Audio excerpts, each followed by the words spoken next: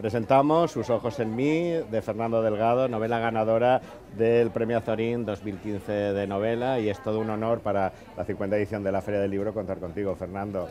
Enhorabuena por el premio. ¿eh? Para mí es una satisfacción estar en esta feria en la que he estado desde hace muchísimos años, eh, siempre aportando lo que modestamente pudiera, pero haciéndolo con entusiasmo porque me parece que es la primera feria del libro de España.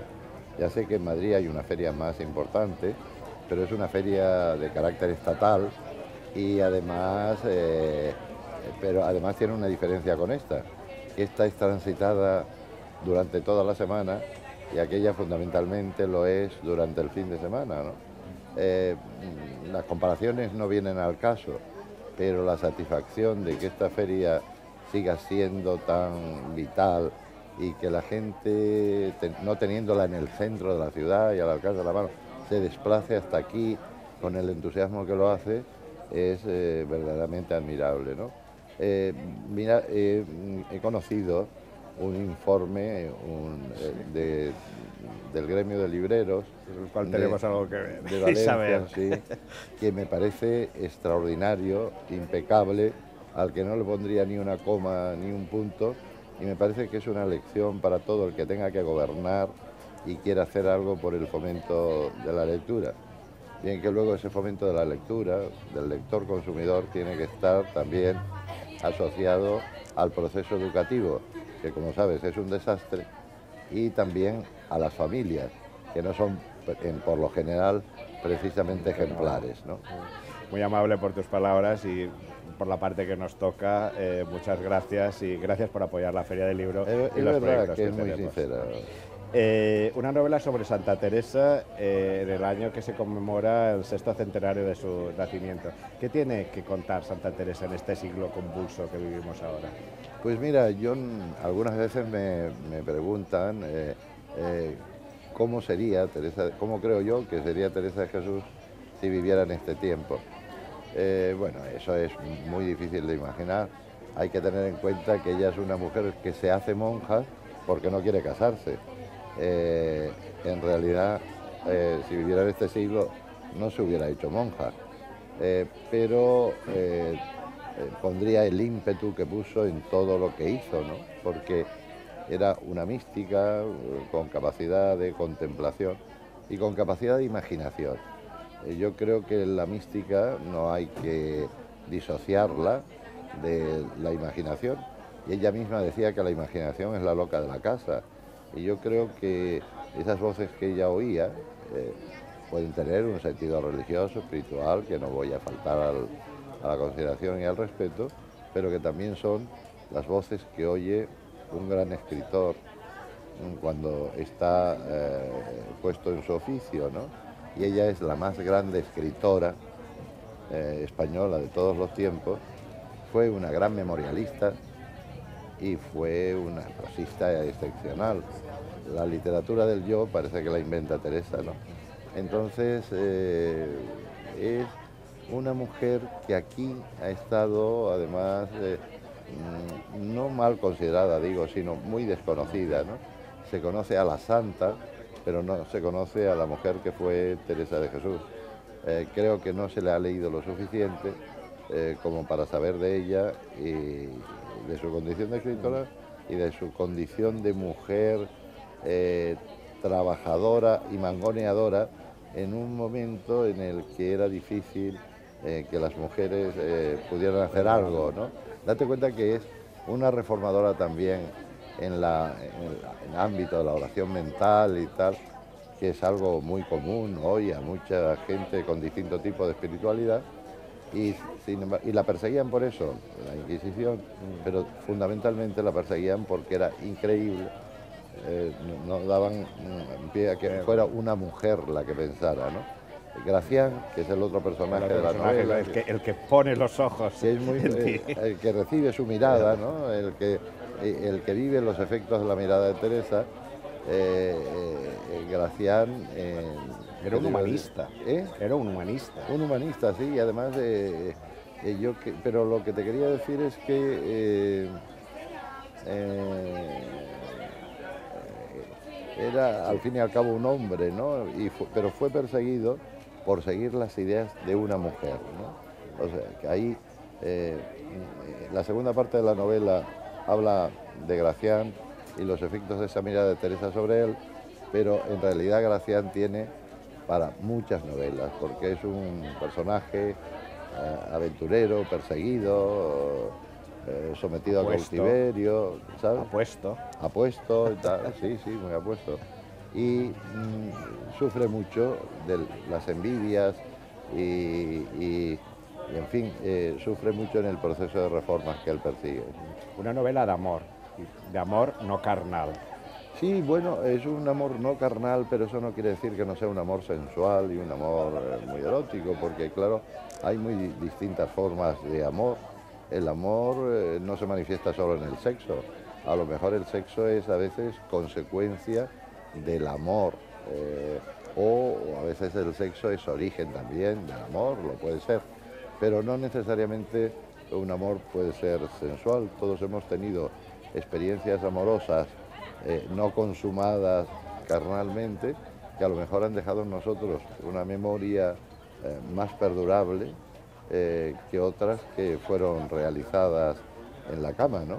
Entonces, eh, Teresa yo creo que es una mujer arrebatada de amor y, apasionada por el amor. Lo que pasa es que, como el amor lo entiende desde la espiritualidad, pues entiende primero que está casada con Dios y que Dios es su primer amor y fundamental amor.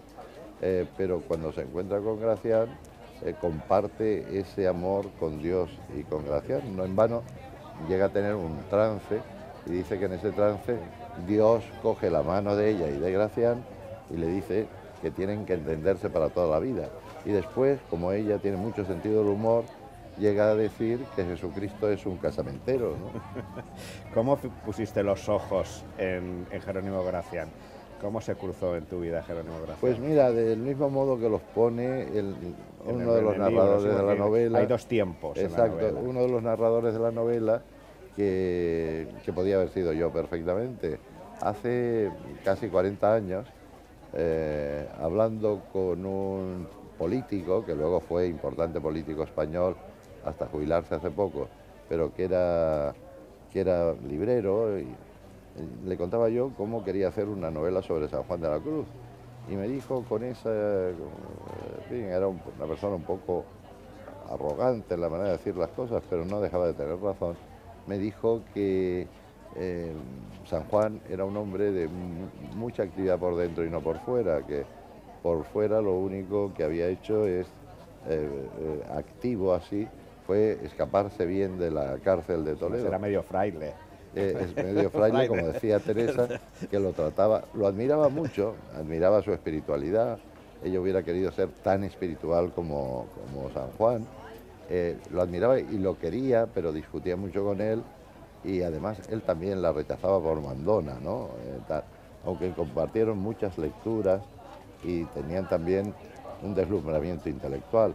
Hablamos de San Juan de la Cruz y pocas veces se tiene en cuenta que es el más grande poeta de, toda la historia, ¿no? y es la poesía por excelencia, la poesía de, San Juan de la Cruz.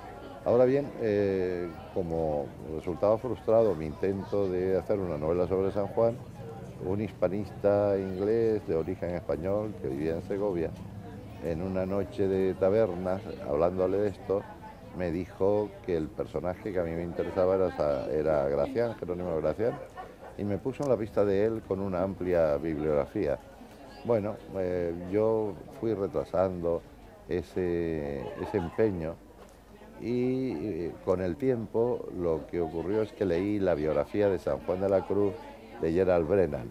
Y Brennan, cuando describe el encuentro entre Teresa y Gracián en Beas de Segura, dice que sencillamente después de escribirlo, dice rotundamente, se enamoraron. Yo puse a partir de ahí el foco en esa historia de amor eh, y para ponerlo nada mejor que leer a la propia Teresa de Jesús y leer a Gracián. Eh, siguiendo la pista de ellos mismos, se construye esa historia de amor con una enorme fidelidad, en el sentido de que no hay ni una sola palabra puesta en sus labios, los labios de ellos, que yo me invente. eh, sino que son expresiones de... Quizá eh, donde hay más invención por mi parte es en, el prefacio de la novela, que es un texto firmado por Gracián y que en realidad es un texto hecho por mí, con palabras de Gracián, con palabras de ella construido.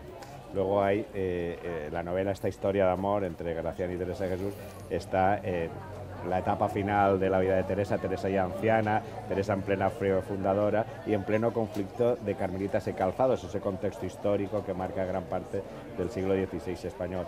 Eh, ¿qué, papel juega Jerónimo Gracián en ese conflicto de los calzados y, los descalzos? también no se habla, no se habla, pero que tiene muchísima importancia en el siglo XVI español. Un juego de poder importante, o sea, ella no puede realizar la reforma de los, de los eh, la, eh, la constitución de los descalzos, sin Gracián. Gracián es un personaje importante al que derriban del poder un personaje siniestro que se llama Nicolás Doria después de la muerte de Teresa, ¿no? Y ahí lo derriban hasta tal punto que terminan expulsándolo de eh, precisamente la renovación. Aquí, esto es una novela de amor, una historia de amor, pero también es una historia sobre los poderes, ¿no? Y, es curioso cómo son las organizaciones, las de ayer y las de hoy, eh, bien parecidas, y cómo los propios terminan cargándose eh, y eliminando, eliminando a Gracián, que termina eh, viviendo en, Bruselas precisamente con aquellos que pretendió reformar. Son mucho más misericordiosos con él y mucho más comprensivos. Como Gracián y como el personaje de la novela, Fernando Delgado, también ha tenido un diablillo ahí todo el rato. Efectivamente, el narrador tiene un diablillo, que es el diablillo que ha actuado en mí también para seleccionar, naturalmente, como yo no quería hacer una vida de Teresa de Jesús, porque eso eh, se han hecho muchas eh, y algunas están bien, pero en definitiva la que mejor cuenta su vida es Santa Teresa, porque ella lo, hace espléndidamente. Entonces yo lo que quise es eh, recoger ese aspecto de la vida de Teresa y construir una historia con, a base de, hechos reales, ¿no? Pero eso eh, pues hace que a veces seleccione incluso cosas que a lo mejor no son muy importantes, ¿no? Eh, y a lo mejor elimino algunas importantes para no incrementar tanto el escenario, ¿no? Pero fíjate que hay, por ejemplo, a él lo acusan de acostarse con monjas y de acostarse con la propia Teresa de Jesús, pero entre las cosas de las que lo acusan es de ser un comilón, de comer mucha carne, de comer mucha... Y entonces hay un aspecto curioso cuando él viene, él pasa dos años en Valencia, eh, invitado por el patriarca Juan de Rivera, ¿no? Y entonces él ahí, eh, yo, apenas hablo de ese episodio, pero lo destaco porque como siempre fue acusado de comilón, eh, él dice ahí que recibe de las monjas en, Valencia muchos regalos de suculentos, de dulces y de tal, pero esta gente dice, no siente aprecio por las anguilas, que son aquí excelentes. Dice, ni por las naranjas, que también lo son. Y es curioso como en aquel tiempo, pues aquí no sentíamos el aprecio por la anguila, del alipebre, los alipebres maravillosos, ni por las naranjas. Y, él habla de eso, ¿no? Entonces, bueno, no deja de ser un hecho anecdótico que yo pongo ahí como un guiño valenciano. Pues sí, pero que podía haber prescindido totalmente de él, ¿no? Pero bueno, lo pongo ahí. Sus ojos en mí, en novela que narra una apasionada historia de amor, de amor no carnal, que habla de unos tiempos convulsos y que nos acerca a, la figura de Teresa de Jesús. Eh, Fernando Delgado, un placer hablar contigo, eh, mucho éxito con esta novela y gracias por traer a Teresa de Jesús y que a través de esta novela se pueda llegar a, las obras de esta gran escritora en lengua castellana. Una gran escritora, una gran española en un tiempo convulso y una mujer muy adelantada a su tiempo. Quedamos con ese mensaje. Gracias.